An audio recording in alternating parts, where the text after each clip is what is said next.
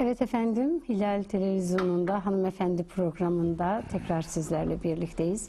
Çok değerli e, konuğum Mahmut Toptaş hocamızla besmele e, çekmenin, besmelenin bizim hayatımızdaki önemi, her işe besmele ile başlamanın anlamı ve bunu tercih ettiğimizde hayatımızda ne gibi değişiklikler olur? Besmelenin farkına varmak. İşleri günü besmeleyle açmak ne anlama geliyor? Onun üzerinde sohbetimize devam ediyoruz inşallah.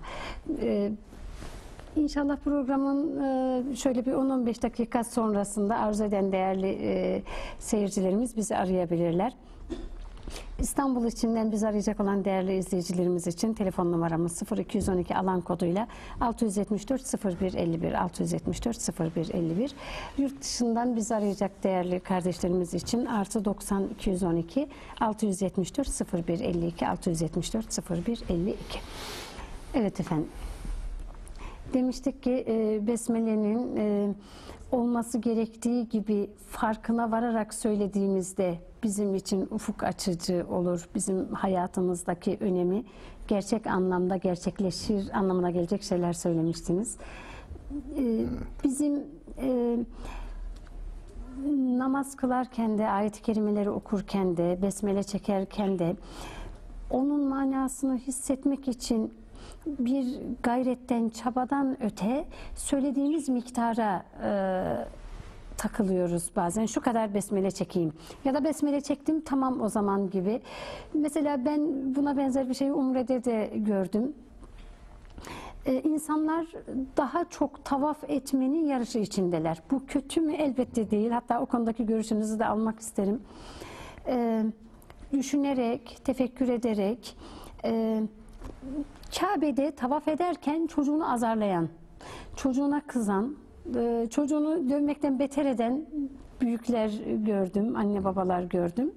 Ve hoşgörünün en yüksek zirvede olması gereken bir mekanda ve e, yapılan tavafların, oradaki çekilen tesbihlerin, zikirlerin anlamını düşünerek geldiğimizden daha farklı gitmenin mücadelesi, anlamı fark etmenin, anlamı keşfetmenin mücadelesi içinde olmamız gerekirken şekle ve e, sayıya takılıyoruz gibime geliyor. Ne dersiniz?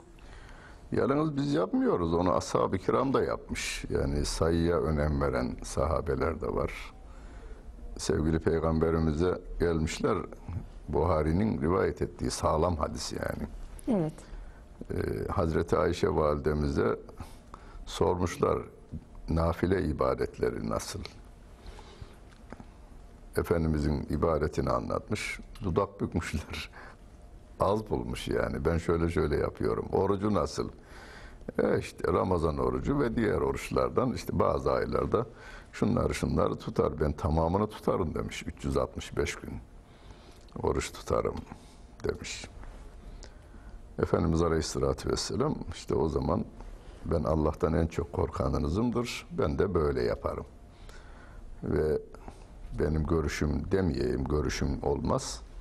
Peygamberimin sözünün olduğu yerde, Rabbimin kelamının olduğu yerde görüşümüz olmaz. Efendimiz diyor, amellerin efdalı az olup devamlı olanıdır diyor. Ee, şeytan için bahsederken Rabbim ela inne keyde şeytani kâne daifa diyor. Şeytanın hilesi, tuzağı, planı, programı çok zayıftır diyor. Halbuki insanların en çok şikayetçi olduğu şey de şeytandır değil mi? Peki şeytanın başarısı nerede? Devamlılığındadır. Bizi sapıtmak için devamlılığındadır. Müslümanın da direncinde devamlılık yapması lazım. Mesela vücutun direncini korumak için ne yapıyoruz? Üç öğün yemek yiyoruz. Hem de doktorlarımızın, bu gıda uzmanlarımızın dediklerine dikkat ederek veya yani bu doktorumuza, gıda uzmanlarına gelmeyenlerimiz de atadan gelen bir şey vardır. Bilgi vardır onlar. O bilgiyle onu devam ettirirler, giderler. Vücutun direncini ayakta tutmak için. Aynı şekilde insanların ruhi direncini ayakta tutmak için de e, ısrarla Euzu Besmele'yi çekecekler. Euzu ile şeytanın şerrinden Allah'a sığınırım diyoruz ve biraz sonra Kur'an okuyacağız. Ağzımızı temizliyoruz. Hani nasıl ki abdest alırken ağzımızı temizliyoruz. Fı- fırçalamak suretiyle sünneti yerine getiriyoruz. Yağuzu ile de manevi kirlerden temizledikten sonra besmele ile de süslüyoruz. Yani yaptığımız iş bizim e, yalnız temizlik değil. Evi tertemiz yaparsın da dört duvar, iki tavan, taban ve tavan. Bu da güzel değil değil mi? Onun süslenmesi gerekiyor. Ee, niye? İnsanla Allah Celle Celaluhu tabiatı örnek veriyor bize. Baktınız mı bir tarafta deniz, bir tarafta orman, bir tarafta ırmak, bir tarafta çiçek, bir tarafta çocuk, bir tarafta yıldız, bir tarafta deniz. Yani Hazreti Adem'den bugüne kadar tabiattan bıkan olmamış. Ee, usanan olmamış. Bakmakla bıkılmıyor yani. Rengarenk ve her an değişen bir e, güzellik arz ediyor. Rabbimin tabiatı. Aynı şekilde iç dünyamızda da bizim değişiklikler var. Bu değişiklikleri pislikten arındıracağız. Sonra da süsleyeceğiz. Yani süslemeden olmaz. Allah Celle Celaluhu meyveyi bize verecek, elmayı verecek ama şöyle ağacın göğsünden çıkartabilirdi elmayı.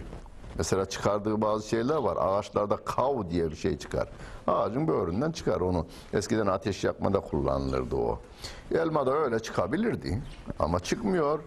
Rabbim evvela çiçek veriyor. Göz zevkinizi alsın. Tabiata o bir renk versin, hava versin, koku versin. Sonra koruklaşıyor, sonra tatlaşıyor. Yaprağıyla, e, görüntüsüyle ambalaj içerisinde veriyor. Yani siz de hediyenizi götürürken al bakayım bir demeyin yani. Şey içerisinde, güzel bir ambalajın içerisinde gülen bir yüzle takdim etmek gerekiyor. Onun için ağzımızı manevi, maddi kirlerden fırçayla temizliyoruz. Sünnettir diye temizleyeceğiz yalnız. Ağız temizliği çok önemlidir arkadaşlar diyerek değil. Sünnettir diye temizleyecek, sevaba girecek. Yani iki insan var, düşünün. İkisi de diş e, temizliğine önem veriyor. Birisi diyor ki peygamberim böyle emretmiş diyor. Temizliyor, sevap alıyor, diş de temiz. Öbürü de e, doktorum böyle diyor diyor. Dişi temiz, sevap almıyor yalnız. Yani aradaki fark bu. Biz onun için besmele ile e, iç dünyamızı, gönül dünyamızı temizledikten sonra işimize giriyoruz. Yani kötülüklerden arındırdık, yetmez. Besmele ile süsledik, sonra da işimize başladık. Bismillahirrahmanirrahim. Devlet dairesindedir. Bismillahirrahmanirrahim diye başladı. Rahman ve Rahim olan Allah Celle Celaluhu'nun adını andı derken kapıdan bir vatandaşımız işini gördürmek için girdi. Hafif şöyle yerinden doğrulur o. Saygı gösterir yani şeye. Gelen vatandaşına saygı gösterir. Merhametle muamele etmem gerekiyor. Çünkü biraz önce Rahman ve Rahim'in adını andım. Ben diyecek. Görevini yapar ama şefinden veya müdüründen korkmaz. Görevini yapar o. Korkuyla değil. Ee, görevim benim bu. Ben rızkımı helal ettirmem gerekiyor diyor. İşimi yaparken de merhametli davranmam gerekiyor gelen insanlara. Bugün git yarın gel. O insanın işte 3 kilometre 5 kilometre bazen İstanbul şehrinde 30 kilometre geriye gidip 30 kilometre sonra yeniden geldiğini bu besmele ile başlayan memur yapamaz. Bu işke- işkenceyi ona yapamaz. Rahman ve Rahim olan Allah Celle Celaluhu'ya inandığından dolayı. Allah rahmet eylesin. Elmalı merhumun tefsiri var ya, Elmalı tefsiri diyoruz. Hak dini Kur'an dili. Orada e, Abduh'tan nakleder. Elmalı merhum. E, o nakil aynı zamanda Bediüzzaman Hazretleri'nin risalelerinde de var bu açıklama. Bu tür açıklama, Besmele için bir açıklama var. Ama temel Abduh'tan gelmiş. Abduh'tan şey nakletmiş, Elmalı merhum nakletmiş. O diyor ki hani bir devlet memuru, devletin kendine verdiği bir fermanla bir yerden bir yere gidecek olursa Yol boyu kimse ona saldıramaz. Eşkıya bile korkarmış. Yani Osmanlı buradan bir elçisini Bağdat'a gönderdiği görülüyor değil mi? Binlerce var yani. Bağdat'a, Bosna'ya, şuraya, buraya. Her tarafta eşkıya olmasına rağmen eşkıya şeye saldıramıyor. Ee, elçiye, e, haberciye saldıramıyor. Niye? Arkasında şey var.